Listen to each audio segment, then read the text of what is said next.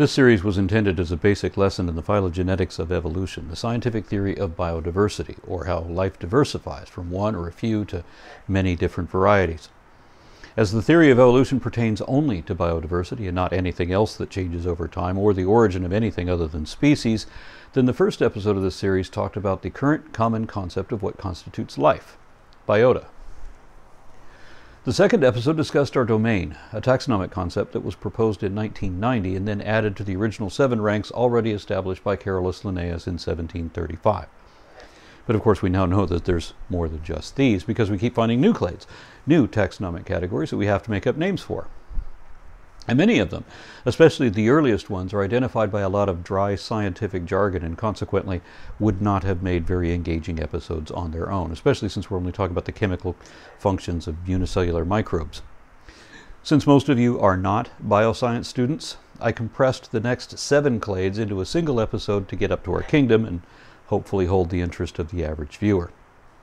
It took four more episodes to show the next five ranks up to our phylum, correlating with fossils from the very beginning of the Paleozoic era. So we'd already come quite a long way even before the Cambrian period. I didn't want any of these videos to be limited to technical lectures on comparative anatomy, so I left a lot of that out, though I admit that I really should have made more than just 16 episodes to cover the next 34 clades of transitional species to bring us up to our class. Linnaeus invented his system before the scientific fields of genetics or evolution or paleontology had been discovered, so he had no idea these ranks were all connected the way they are, both phylogenetically and chronologically. Without a working theory of evolution, he wouldn't have understood any of that, and he lamented that he could not make sense of the branching tree pattern that, of apparent relationships that his system had revealed. For example, 13 more episodes covering 14 more clades, and we get up to our taxonomic order, which coincidentally also brings us to the end of the Paleozoic era of reptiles and into the Cenozoic era of mammals. Since then, we've done one clade per episode, but that was still nine episodes ago, and we've just come to our genus, Homo. We've finally come to the emergence of man. Some of the more astute among you have probably already guessed that the very next episode, and technically the last one of this series, I'm sorry to say, will be about the different species within our genus. This episode, however, will talk about some of the changes that occurred in a lineage of bipedal apes that made them what we are, how they, or rather we, became human. In the last episode, we mentioned how Kenyanthropus platyops had been classified both as a human and as an Australopith because some members of these groups are so similar to each other that it's hard to distinguish one group from the other. And one point of confusion is that they're not really different groups. The genus name Australopithecus was invented a century ago when Linnaean taxonomy was still dominant. So it was listed as a sister instead of a parent group and is thus paraphyletic, meaning that it includes most of these except for those, arbitrarily excluding evident descendants for no defensible reason.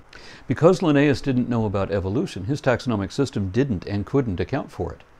For centuries, scientists have tried to modify it to use it anyway, but it just doesn't work.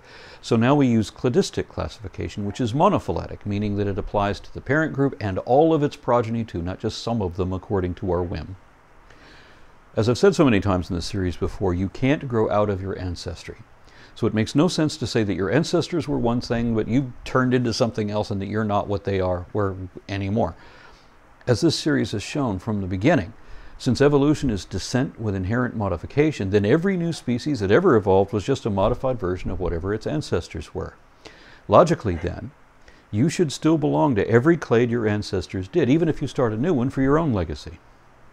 And we don't know whether Kenyanthropus or any individual from any species of Australopiths were necessarily directly ancestral to our species, but both are probable, and our taxonomic system should be able to account for that.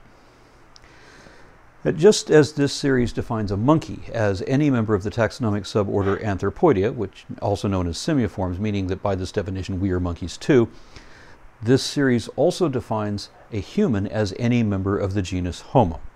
So the people we're talking about today could begin with Kenyanthropus, but we'll focus more on early human species from the Pliocene period, like Homo habilis or rudolfensis, leading to Erectus. Remember that this lineage is closer to the gracile Australopiths, not the robust ones. And one of the first comparisons that people make between humans and other apes is that gorillas and chimpanzees are so much stronger than we are. I mean, look at these guys. They're built like trucks. Now, part of that could be that they spend their whole lives working out for upper body strength, but that doesn't account for everything. I mean, this guy lives in a language research center at Georgia State University and he spends most of his time playing video games. Seriously, he just naturally looks like a power lifter. So, why did we become so gracile, meaning thin and frail? And one reason is that we have at least two genes that actually restrict the growth of our muscles and the necessary thickness of the bones they're attached to. In our case, it's the myostatin gene, also called growth and differentiation factor 8. Defects in or chemicals blocking this gene result in a substantial increase of two to three times the normal muscle mass, depending on the species. In a couple rare cases, human children have been born with a double copy of defective myostatin or with it naturally blocked, in either case resulting in twice the muscle mass and half the fat. That means that we have a gene that only allows us roughly half the muscularity of the other apes. They have myostatin too, but for them the dominant regulator is called activin A, and it is obviously a more lenient regulator because it allows them to have so much more than we get. Another difference is that they have slightly longer muscle fibers, and two thirds, 67% of those, are fast twitch fibers, which are up to one and a half times stronger than our muscles, pound for pound. But their muscles also require more energy and become fatigued faster. Whereas the majority, 60% of our muscle fibers, are of the slow twitch variety, which are not only more economical, longer lasting, on less energy, but they're also much better at fine motor control. Even at the cost of superhuman strength, the combination of traits for increased endurance and precise dexterity would see a selective advantage in the lifestyle of early humans. The physical abilities that we and they inherited from our ancestral species were very generalized. We were like a sort of jack of all trades, which meant that while different animals could exceed us in their own particular specialties, we could accomplish a wider variety of tasks in a greater range of environments than most other animals could. We can swim or climb to hunt or forage, eating meat or plants, as well as clams or bugs or pretty much anything edible. And that versatility made us more adaptable than most other mammals right from the start. As we mentioned before, about 4 million years ago, the lush African jungles where Ardipithecus lived were thinning into drier, sparser woodlands in which Australopithecus lived. And this trend continued until much of that land was open savanna with very few trees at all. In this environment, there were a few definite advantages to being bipedal, and our ancestors adapted accordingly. Homo erectus had the same arch in their feet that we still have, which enables long distance walking. Chimpanzees have flat feet and no butt. That, that just looks wrong. Unlike chimpanzees, we humans have a pronounced gluteus maximus, the butt muscles. You can see them on gorillas, but not on chimps. And these butt muscles don't do much for walking, but they're great for running. Homo erectus had meaty butts like we do and that gorillas do. Something neither chimps nor gorillas have is an Achilles tendon. It was small when it first appeared in Australopithecus, but grew in the Homo genus. Elastic tendons help us to bounce while running, giving us an extra spring in our step, while our glutes do the same thing for our stride. We still don't run very fast, but we could run farther on two legs than a chimp could on four. For all their strength and speed, they'd still be exhausted very quickly and would collapse and pass out if they tried to keep up, where we can keep on going and going. Chimpanzees use coordinated group efforts when hunting red colobus monkeys in the jungle canopy. Early humans evidently did the same, except on the ground in wide open spaces where it is impossible for a few people to trap their quarry by surrounding it. Instead, you gotta chase it down. Rigorous exercise, like running around all day, generates excessive body heat. When you already live in a tropical environment, that could cause heat stroke, which can be deadly. But we had a couple more adaptations enhancing our endurance across the savannah. The most obvious is our lack of hair, except on our heads. And this is probably because hair on the head provides shade for the scalp to prevent brain bake in the tropical sun. The only other noticeable patches of body hair we have are correlated with the development of secondary sexual characteristics. In other words, beards, armpits, pubic hair. Otherwise, we look mostly hairless. We still have the same number of hair follicles as the other apes, but each of our body hairs is miniaturized, being neither as thick nor as long as theirs, thus making us appear naked. Of course, fossils can't tell us when this happened, but genetics gives us a clue. Not our own genetics, but that of our parasites, which continue to evolve right along with us. You see, human hair lice is as closely related to chimpanzee lice as we are to chimpanzees ourselves, which makes sense, of course, since both lineages split at the same time over six million years ago. But human pubic lice, colloquially known as crabs, are an entirely different species that are much more closely related to gorilla lice. This fact cannot be accounted for by our evolutionary divergence from a common ancestor with gorillas 8 million years ago because a genetic analysis of crab lice implies that they split from gorilla lice infesting humans instead only 3.3 million years ago, which is 4 million years after our lineage split from gorillas and roughly 3 million years after we diverged from chimpanzees. So we caught gorilla lice sometime later. Awkward. However, that happened. It seems that our pubic hair and the hair on our heads were like two lice islands separated by an impassable stretch of relatively naked skin, where the hair is too thin and wispy for the parasites to cling onto or hide in. And remember that Lucy, the first Australopithecus afarensis fossil ever discovered, was dated to 3.2 million years ago.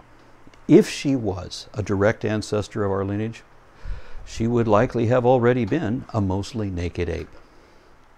So early humans, having lost their fur, were then air cooled. Of course, it's more efficient to be water cooled, and we adapted that too. All primates have numerous apocrine glands in their hairy skin, but only hominini, meaning humans, chimpanzees, and gorillas, have an axillary organ, which produces an odor that is almost identical in all three genera. So hominini all have the same stink. We smell like apes. Likewise, the apocrine gland is visibly identical in all three genera, except that it functions differently in humans, in that it secretes sweat. We also have millions of eccrine glands, which are just like apocrine glands, except that they're not attached to follicles. They sweat as well, allowing us to drip with sweat to dissipate body heat. And this gave us the ability to employ a hunting technique that almost no other hunter could. Most predators will try to ambush their prey, where they hide and wait and jump out and grab, or they'll get as close as they can and then run out as fast as they can, and they can be really fast when they have to, but most of them can't go really fast very far. So if the prey animal is also really fast, then all they have to do is outsprint the attacker. And if they can do that, then pretty quickly both predator and prey have to stop and take a breather and try to cool down again. But what happens when you hit something like the Terminator coming after you. He doesn't run very fast. In fact, he's only jogging. But he is still running, which means you gotta run too. And it absolutely will not stop. Ever. Until you are dead. It's like those zombie movies where the zombies shamble really slowly and you can always run away, but you can never get away because they don't stop coming. It's the same with a prey animal in the savannah. You can easily dart away again and again, but every time you think it's safe to catch your breath, there they are, still coming after you, following your tracks at speed. So you never get a chance to cool down. You gotta keep running till you drop or until your brain overheats and you just can't run anymore. And the last thing you see when exhaustion forces you to give up is the hunter closing in to get you. Because early humans were not as fast as anything else in the savannah, they had to run down their prey this way. So there was obviously a strong selective pressure on early humans to adapt and improve heat dissipation. Under extreme conditions, a chimpanzee will produce only a few beads of sweat on the face, and that's about it. But over many hundreds of thousands of generations, our sweat glands have gotten to where they produce copious amounts of sweat all over the body when necessary, adapting an existing structure for a new purpose thermal regulation. There is only one other predator that has a different means of tracking and a different means of heat dissipation, and they can go really fast when they have to.